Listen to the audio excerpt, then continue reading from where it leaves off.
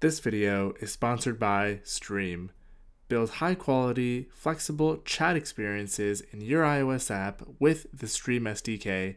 Get started for free with the link in the description down below. What's going on guys? In today's video, we're going to be learning how to use will set in your properties in an iOS app. So instead of going through the theory about what the heck will set is, I think it's a lot more valuable to jump right into the code. So drop a like down below, hit subscribe, and let's talk about the will set feature of properties in Swift. So we're going to go ahead and create a new Xcode project. I'm going to stick with the app template under iOS and we're going to call this project will set, super creative, I know. We'll go ahead and continue. Make sure you're set to storyboard, not Swift UI, and you'll see why momentarily. Go ahead and save it wherever you'd like. And I'm going to go ahead and close this right panel, expand my Xcode window, and we're going to jump into our view controller. So right off the bat, we need a property that we can use the will set feature on. So I'm going to create a private property here, and we should spell it correctly, otherwise it won't work. It's going to be a var, so it's immutable. Maybe we'll go ahead and call this text, and it's going to be of type string. By default, it's going to be called default. Now to use the will set feature, we're going to go ahead and put curlies at the end of this. Kind of looks like a computed property, but not quite. And inside of here, we can go ahead and say will set. Now, if you caught my recent video on did set, this is very similar, however, slightly different given the fact it's will instead of did.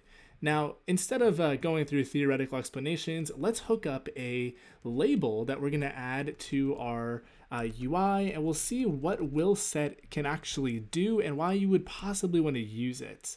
So we can go ahead and say that we have a label here. It's a UI label. We'll go ahead and create it with an XY 200, maybe a height of 50. Gonna go ahead and add it as a sub view to our view controller's view.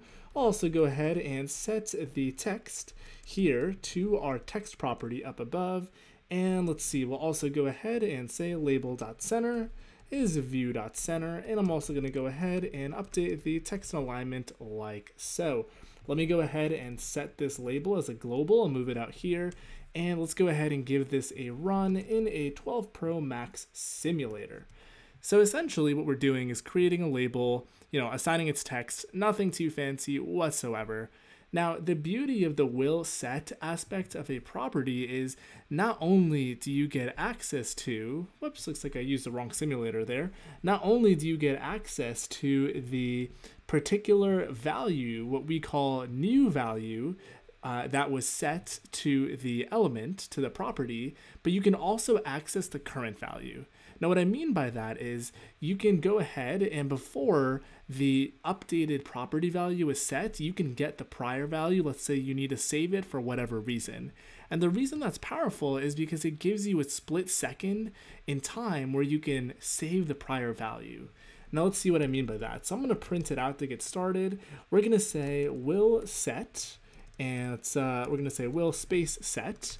First of all, we have the old value, which is the current text.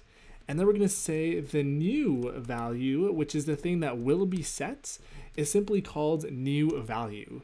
Now you might be wondering where this is coming from. So new value you're going to get access to inside of this will set curly block just by virtue of using the will set feature on this property. So let's go ahead and do some, some fancy stuff. So I'm going to say here in dispatch queue.main and we're going to say async after maybe now plus 10 seconds. What we can go ahead and do is update that text property. So I'm going to go ahead and say let text, or rather self.text equals iOS Academy uh, updated. This, we'll go ahead and give it a run. And ignoring the label for a second, if we take a look and focus in our console down here, we should see in a few seconds, uh, specifically 10 seconds, I should probably make this something like two seconds, we'll see in the console that we get a print from this will set. Now we see it down here. So we can see will sets. The current value is default, which is what we are printing up there. And the new value is going to be what we are about to set it to, whatever the setter is about to set.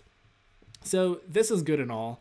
Um, let's do an example where we would want to use this perhaps in a uh, actual application. So let's say we want our text label here to reflect the old value and the new value. So what we can do is we can say label dot text is it old colon and we're gonna basically put in text here and then let's say we have a, a dash here, we can say a new, and this is going to be whatever the new value is. So if you've ever seen any applications that are perhaps like banking applications or, you know, something along the lines of uh, a charting or application that tracks the difference, like a stocks application of the previous and the you know the new price of a stock maybe, they heavily leverage things like will sets to figure out what was the previous value as well as the you know updated value, whatever the setter was called. And like I said, this is very similar to did set. So you can actually have did set and will set in tandem together. And let's add a print in here did updates value and take a look at my prior did set video if you're more interested in this. And similar to how we get new value uh, in the will set, we get old value in did set. So here we can actually say this one, let's make it simpler. We'll say did set, and the old value is going to essentially be this guy here. And we can also go and get the new value. So it looks like it was complaining there for a quick second but looks like it went away and we'll say new value now keep in mind and when the did set is called it's not really the new value anymore right it's text at this point. point and again will set and did set are very different but the reason i want to do the example here is uh, they are similar in a lot of ways right so not only do you see that you have the updated text shown here with the old and the new, but in did set, we see the old value was default and the new value was what we assigned. So will set and did set, features or properties in Swift, very, very simple to use. You can build some really interesting use cases around these two uh, property features.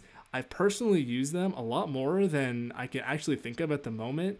There's a lot of really intricate examples that you can build around this, things like maybe updating some cache value or things like updating some user analytic event. Let's say, you know, the user selected an element in a drop-down menu and you want to know, you know, what was the previous thing that they selected. So the sky's the limit as it goes with most of the things that come to, you know, building out stuff in code, especially for iOS.